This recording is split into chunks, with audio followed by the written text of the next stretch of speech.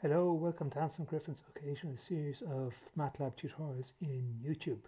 Today I'm looking at the image processing toolbox in 2018A, 2018A, that's the important bit.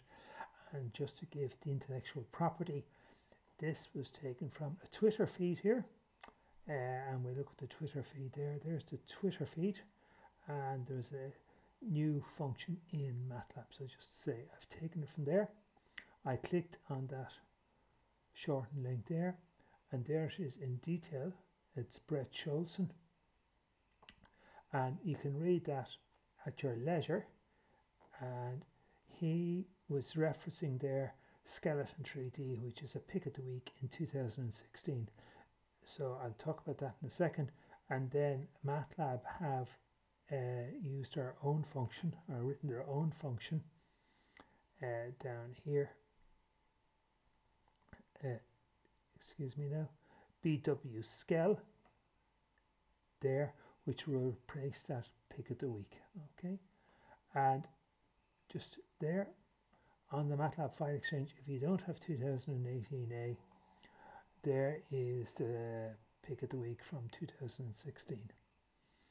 So 3D skeletonization of an arbitrary binary volume using parallel medial axis thinning. Okay. So I think I can get rid of that. Now I had one or two problems as I went along.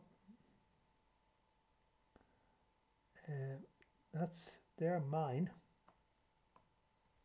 I just look at this one here. Now you can see in the subplot one of mine are missing here. Okay, I'll explain that in a second.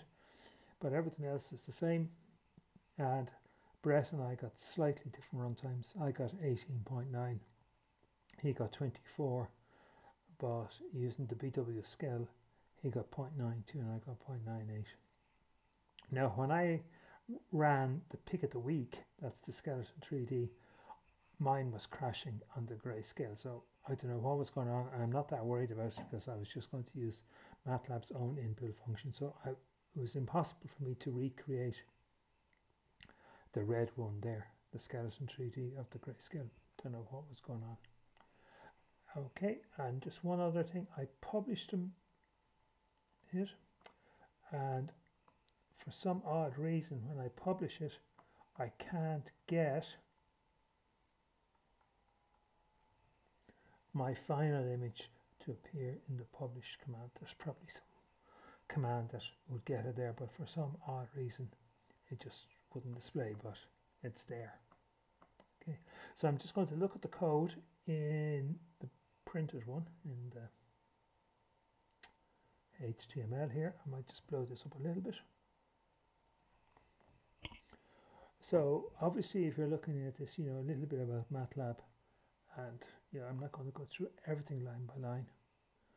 So I took this from Wikipedia and if you're really new to it, it's a bit blurry, but a simple example where you want to skeletonize an image would be of a fingerprint. Sorry for being blurry there, but you get the idea. You just want to concentrate in the main bits. Or if you're looking at say at the internal organs of a human, you might want, just want to skeletonize the the large intestine or the small intestine because if you're looking at the whole thing, the volumes would be very big and it could take forever. And if you skeletonize it down, it's going to get quite small and much more manageable.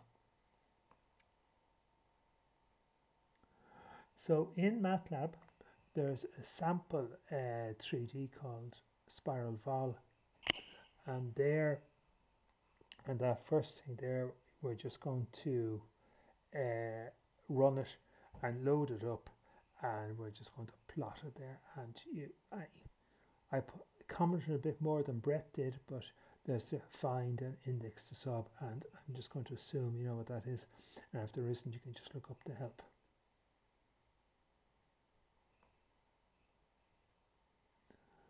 So there's the full spiral 704,000 points. I've this is all funny because I've commented this out. I'll just show you here what I did. I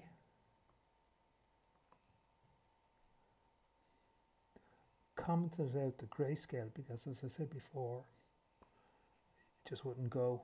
Don't know why. So, but it's there. But anyway, doesn't matter. There's the skeleton 3D. That's the pick of the week from 2016 for the binary image.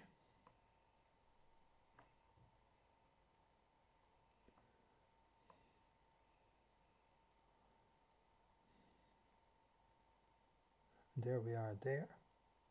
So you see we've got the points down from 704,000 to 2,283 and it took nearly 19 seconds.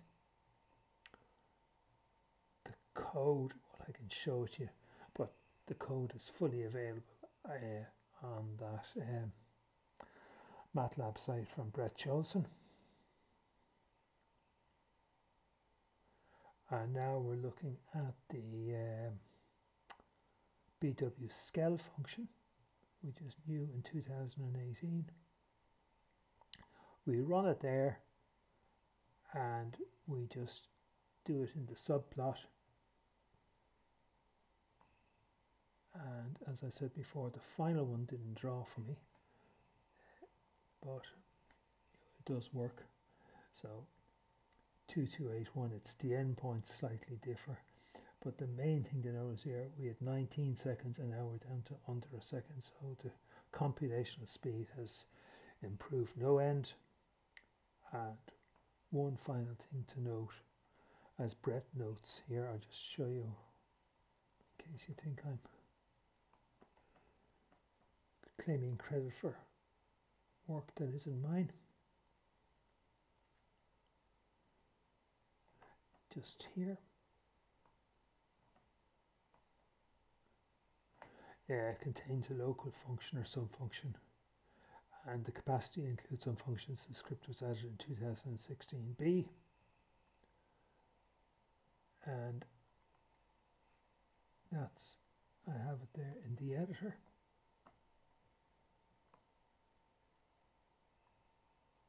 There's the sub function and that's to refresh the spiral visualization. That's to try and to draw it immediately. Okay where you're setting the face color and the marker size etc okay. I hope that's of some help. It's just of interest to me and thanks very much for listening